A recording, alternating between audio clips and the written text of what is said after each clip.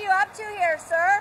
Oh, we're just delivering freedom one jug at a time. That's what we're doing out here.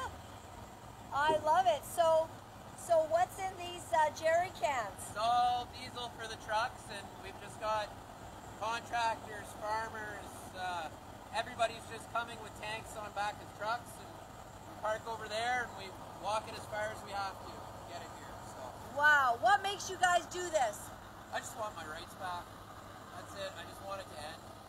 I'm tired of the government overreach. I just I want it done, and finally somebody has stepped up to the plate to get it done. So that's that's why we're here. We're trying And, to help these people. and you're making it happen.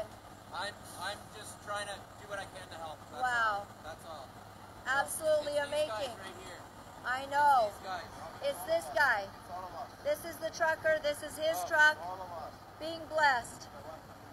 That is wonderful. Thank you.